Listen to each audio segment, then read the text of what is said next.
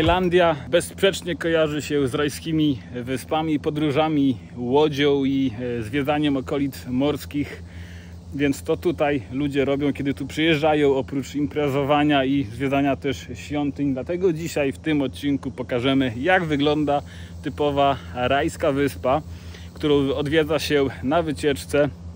Nie można na niej spać, aczkolwiek w ciągu dnia przywijają tutaj łodzie z wycieczkami, żeby ją zobaczyć i zeksplorować. Jako taką wyspę do naszego odcinka i przedstawienia wybraliśmy wyspę Hong, która jest osiągalna łodzią e, z okolic Krabi. Przyjechaliśmy tutaj na wycieczkę jednodniową i stwierdziliśmy po prostu, że ta wyspa jest naprawdę fajna, żeby ją pokazać jako wzór e, czegoś, gdzie można się wybrać na jednodniową wycieczkę. Zaczynamy.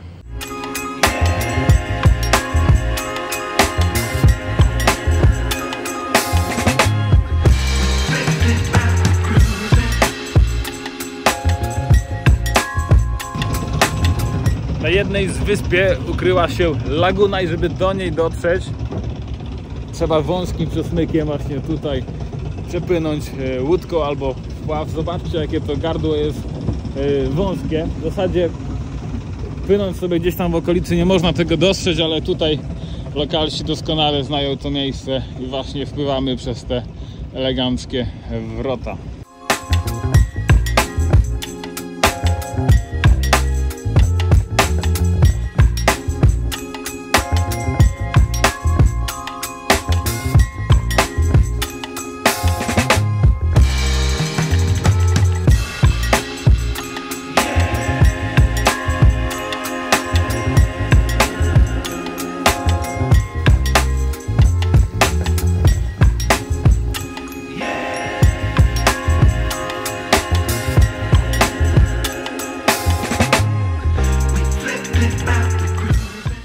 Wyspie zbudowano też e, platformę widokową, do której dochodzi się e, po specjalnie zastosowanych do tego schodach między e, głównym wierzchołkiem a plażą. Są też pośrednie platformy widokowe, na przykład z opisem zwierząt, które tutaj można spotkać, ławkami do odpoczynku i widokami, może jeszcze nie tymi najlepszymi, ale jest też a wiecie, powoli się zaczyna.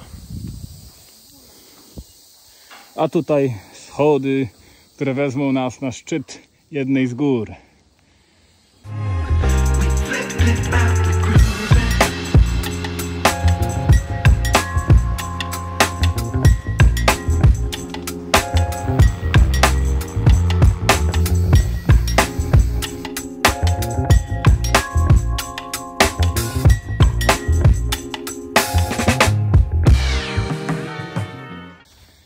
Jesteśmy. Uh, haha.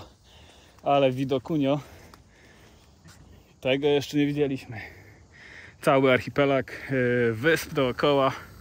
Tu te widoki zawsze są trochę zamglone, trzeba przyznać, ale mimo wszystko to jest charakterystyczne dla Tajlandii. Tutaj z kolei otwarte morze, a tutaj już ląd, okolice Krabi i Anonang. Tam wyspy, na których byliśmy kilka dni temu na innej wycieczce.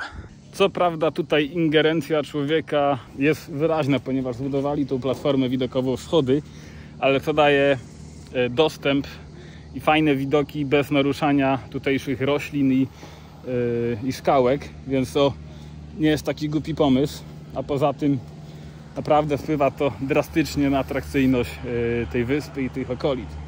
Jakby kogoś interesowało, jakie skały budują tutejsze wyspy, to właśnie takie. Nie wiem jak się nazywają, ale są ostre, są twarde, poszarpane i często właśnie pionowo wyrastają y, z różnych miejsc. Patrzcie jak jest ciepło. To moja ręka po chwili spędzonej na słońcu. Wow, tutaj plaża i wewnętrzna zatoka dobrze zakryta przez skały, co sprawia, że tam fal nie ma za wielkich nigdy. Można się fajnie pokąpać i w cieniu wypocząć. Zaraz tam e, będziemy. Tutaj z kolei pomost, którym dociera się przyjeżdżając łódką już na sam brzeg. Jest też ze dwie albo trzy zaparkowane łódeczki. Dzisiaj chyba też jakaś radiostacja i widać kilka budynków e, Parku Narodowego, który się tutaj też mieści. Dopiero będąc tutaj na górze można to ogarnąć, jak taka wyspa się prezentuje, jak wygląda, jakie ma kształty jak dużo jest tutaj zakamarków, które sprawiają, że ona jest charakterystyczna i specyficzna. Widzimy tutaj pionowe szkały pokryte roślinnością e, na górze. U dołu z reguły zawsze będzie jakaś plaża, jakaś e, zatoka. Jest też wypłaszczenie terenu, gdzie można zrobić jakieś budyneczki. Wszystko naprawdę bardzo e, zagmatwane, sporo zarośnięte i znaleźć tu można wiele ciekawostek. Ta wyspa, ponieważ znajduje się w Parku Narodowym jeszcze Tutaj cywilizacja bardzo nie dotarła i można ją podziwiać w takiej formie e, nie za bardzo zmienionej, ale większość tych sławnych wysp e, w Tajlandii to po prostu to samo, tylko już z wielką zabudową. Oczywiście te wszystkie rajskie wyspy wiążą się z dużą ilością e, turystów. Najprostszą sprawą, żeby mm, trochę te tłumy uniknąć jest wyjazd wcześniej rano, wcześniej dotarcie gdzieś i chwilę nacieszenie się miejscówką, zanim przyjadą tutaj łodzie wycieczkowe, albo też poszukanie wysp oddalonych od tych głównych ośrodków turystycznych. No i wyspa Hong na razie sprawia wrażenie całkiem dobrej destynacji, nie jest tak znana przez odwiedzających, nie ciągną tutaj aż tak straszliwe tłumy, co zauważyliśmy, chyba że jeszcze przejadą. I póki co na razie jest to najlepsza wyspa, na której byliśmy na tej wyprawie. Dlatego dzisiaj ją elegancko tutaj prezentujemy jako przykład rajskiej wyspy w Tajlandii.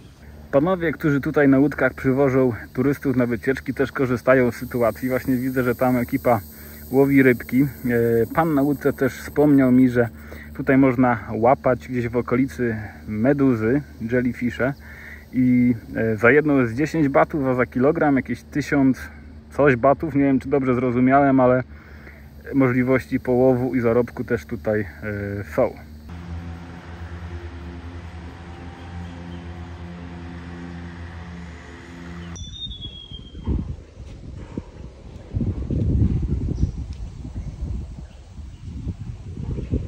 Doszliśmy też e, na plażę.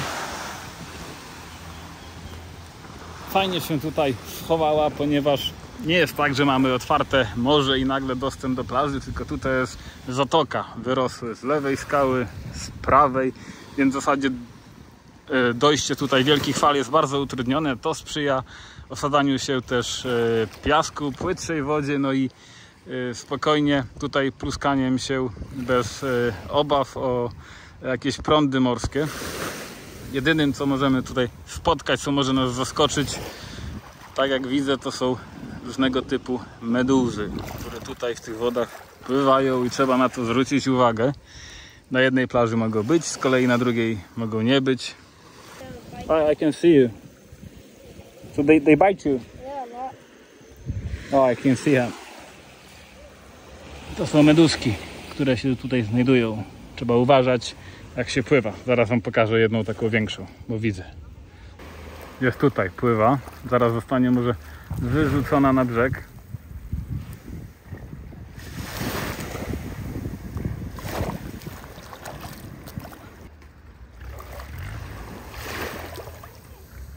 Chyba nie żyje już, nie? Nie no, raczej żyje.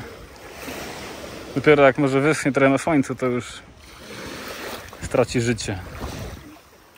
Wody przy wyspach są różne. Czasami spotkamy się z piękną, przezroczystą e, wodą, w której będziemy się kąpać, cieszyć, ale czasami można spotkać też meduzy, tak jak tutaj w tym przypadku. Trzeba zawsze uważać, pytać się lokalsów, czy pana, z którym jedziemy, co tutaj pływa i czy jest niebezpieczne, bo może się również okazać, że taka meduza jest po prostu yy, nic się nie zrobi.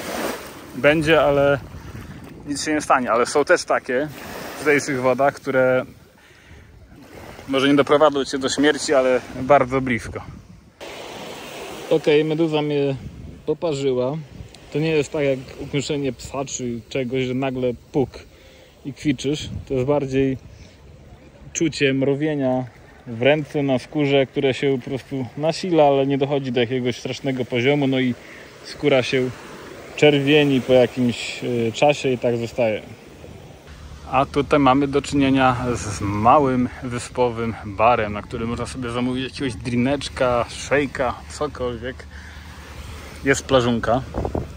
Fajnie drzewka wychodzą tak na tą plażę, że robią cień, ale za bardzo y, nie utrudniają dostępu. Można się pochuśtać. Gniazdo ratownika, który tutaj spogląda na plażę, ale chyba ten zawód tutaj wymarł, bo plaża nie wydaje się za niebezpieczna. Jest też tutaj mały lokal, który serwuje jedzenie szczególnie tym, którzy przyjeżdżają na wycieczki jednodniowe. Firmy, które organizują wycieczki są dogadane już po prostu, że ludzie zajeżdżają, jedzą, chwilę posiedzą i potem jadą. A tutaj z kolei biuro jakiejś jednostki organizacyjnej, czy to parku, czy czegoś innego. Więc kilka takich budyneczków na wyspie jest. Tutaj chyba ktoś mieszka.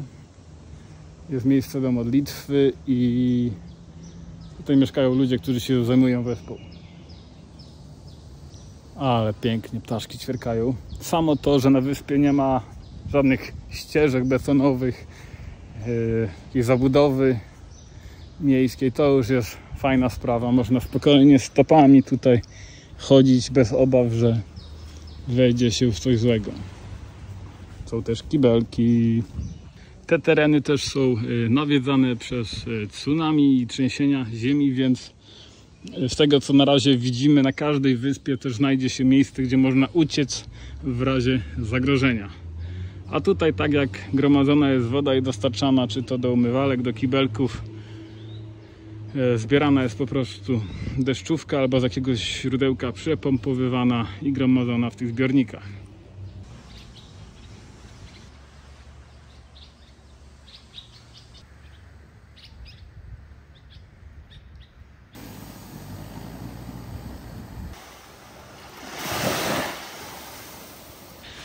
Z reguły na takich wycieczkach po wyspach mam na sobie niebieską, długą koszulkę, a to dlatego, żeby uniknąć słońca, bo kilka razy miałem tak, że nawet na pół godziny czy 20 minut poszedłem pływać w środku dnia. Cały byłem czerwony. Plecy, nogi tutaj pod kolanem, więc teraz zawsze się w to wystrajam po prostu dla uniknięcia poparzeń słońcem. Oczywiście po południu i może rano można ściągnąć e, koszulkę, wtedy spokojnie można siedzieć e, na słońcu. Warto też się dobrze wysmarować. To nasza miejscówka, gdzie rozbiliśmy tymczasowy obóz na relaks tutaj. Jest plaża i fajna, płytka e, woda. Tutaj widać jakieś drzewka zrobiły ciekawe kształty. My tutaj sobie siedzimy, rozłożyliśmy ręczniki, mamy jakiś mały prowiant i tak będziemy się relaksować.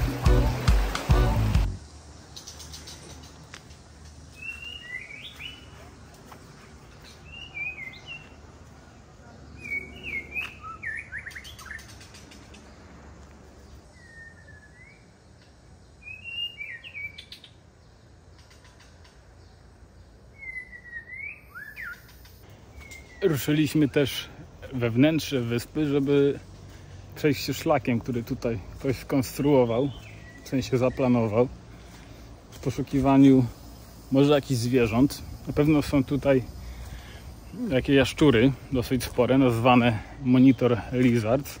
Jest też mnóstwo ptaków, więc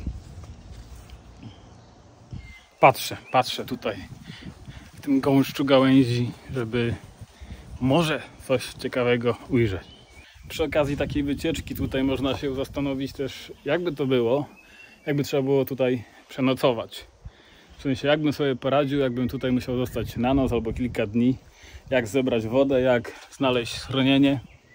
O na przykład tutaj miałbym może jakieś posłanie, jakbym zrobił ogień i, i takie sprawy. Jakie są utrudnienia, czyli jakieś owady, yy, co może mnie tutaj skrzywdzić, a co może dać pożywienie.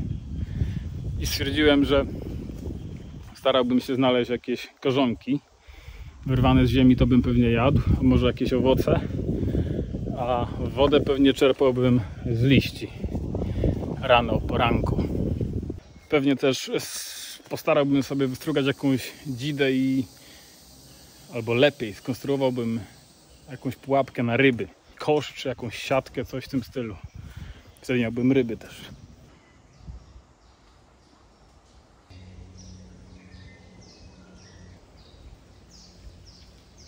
Jest tu też dużo różnego ro- rodzaju takich pnączy, lian. Tego użyłbym na pewno do zrobienia albo sieci na ryby, albo y, węzłów w przypadku połączenia jakichś y, drewnianych elementów przy, budowy, przy budowie szałasu czy jakiegoś schronienia.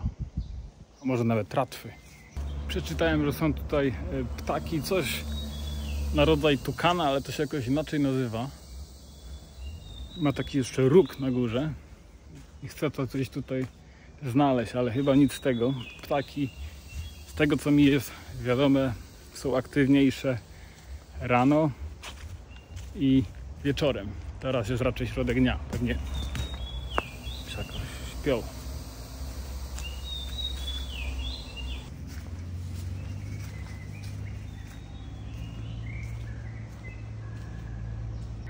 Patrzcie, zauważyłem jaszczura patrząc się na starą oponę. A trochę przykro, że w dżungli znalazłem jaszczura w oponie. Ale dobre i to. Widocznie mu tam dobrze, może ma tam trochę wody i może wypocząć. A też wtapia się w otoczenie. Może mnie nie zje, jak tu przyjdę. Uuu, jest długi. Myślę, że ma spokojnie z metr, a z ogonem nawet więcej patrzy się, obserwuje. Zobaczcie jak tutaj wygląda e, molo. Nie ma takiego mostka klimatycznego z drewna tajlandzkiego jak kiedyś. Jest natomiast mostek pływający. Tutaj jest przystań. Poziom wody się podnosi, mostek idzie w górę, potem opada. Taką oto łodzią, longboatem dostaliśmy się e, na wyspę. Pan nas zawiózł, zaczekał. E, Teraz nas odbiera. Jedziemy jeszcze w inne miejscówki.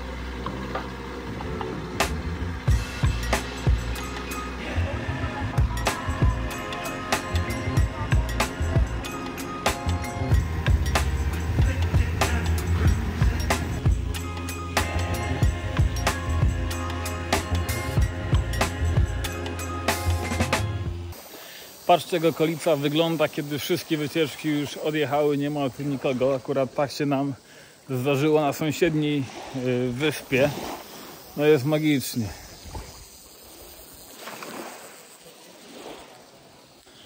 Dżungla szumi, fale y, dobijają do brzegu. Nasza łódka stoi. Okoliczne y, wyspy. Tutaj jeszcze kawałek słoneczka, gdzie można sobie popływać.